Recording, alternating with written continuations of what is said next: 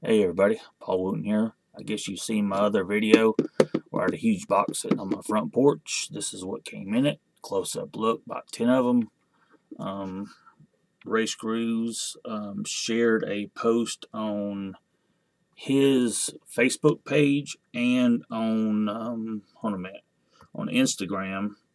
And I wanted to give you give that guy credit too. Um, diecast photo Graphy. Um, his name is Tony Stutz, S Z U T A.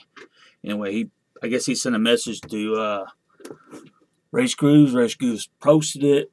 Um, I went on there real quick and ordered mine, of course, before I sent it out to all my buddies. Say, hey, check this out. A bunch of you guys have noticed that Champion DDHK has already uh, received his um, but to me, this is one of the best cases you got, especially if you like loose cars.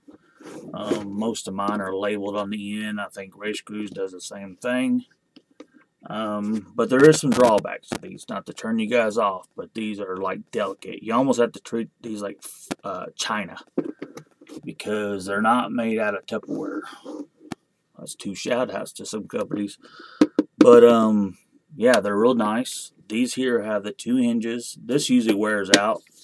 They don't like to, after a while, I have to have Velcro around some of mine or a rubber, big rubber band around it. But I want to show you the kind of reasons why they took them off the shelves at Walmart. They went from $4.99 to $5.99, $6.99, and I think they ended up at $7.99, and then they just disappeared. And I asked the people in the toys toys section, they says, well, they had some incidents and they no longer can advertise them as car carriers. And I said, well, I probably know why. Well, here's one of them. This handle right here. Um, doing a show last two weeks ago. Dropped one fell out of my um, cart. Broke my handle. Leaves that sharp edge. Um, not good. This one here is one of the older, older ones. You see hinge one, two, three. So the company Plano is who makes it. The the, uh, the number on this one's the same as on the brand new one. It's model 5315. Says Plano Molding Company, Plano, Illinois, made in the USA. And it's got the recycling junk on there or whatever. And they get cloudy. Obviously, you rub them back and forth between your other cases. But that's just one drawback. And the other drawback is, well, that's another no handle. They'll break on the edges if you drop them just a little bit. This side here is completely gone. Um, but I've had these for ever. I mean, some of these are 10 years old, so I mean, even the plastic may even break down after a little while. But I still use this one for taking photographs. I'll put cars in there and take pictures. So I just lean it up against something and it's a good car holder. But see, it's cracked there too. That's where the hinge, the door busted right off. Not to deter you from buying these because they're awesome. If I had more money, I would have bought 20 of them.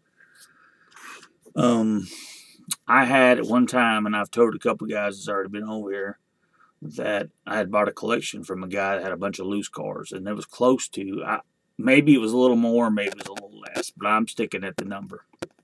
250 of those jammers um, were part of the collection that I bought way back. Um, loose cars and had so many of them and they was already divided between each brand M2 uh, muscle machines Maisto stuff Johnny Lightning Hot Wheels Matchbox. Somebody came over and they said hey I like Johnny Lightning. Boom here's a case. I'll take all 48 cars. All right five dollars for the jammer also, and I just sold them off. And I reduced it down to probably I probably still have about fifty maybe. That's about it. Well, just, well, sixty now. I just added ten more. So, but uh, I love them because they uh, um, they fit in the shells that I got. It'll it'll hold ten across and two deep. So each shelf will carry twenty. So they're real nice when people come over and they want to just here, you want to look at the Corvettes? Boom, they can look at both sides. I always say, hold both ends.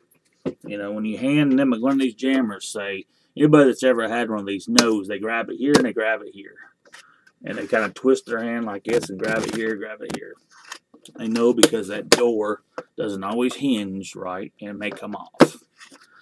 Not downplaying them, I'll buy more, but I'm just giving you some of the dangers of, of these these cases. So at uh, 10 bucks, I mean, at uh, they're normally like 14, 15 bucks, I think. Um, I put the link in the other thing. I think they got them on sale now, so I don't even know if you even need the code. But um, yippers, pretty good buy. I was happy. Now I need to clear out some room and gonna probably rotate some of these uh, new ones and I'll put the stuff that I keep as part of my collection and I'll put the ones I carry to shows um, put the old cars in there. That way if I mess up one it's not a new one. But uh, thanks for watching and uh, that's just a little update on part two of the uh, um, we always call them jammers. You know they're thread organizers well. They're jammers 48 car diecast holders. Gotta go. Bye.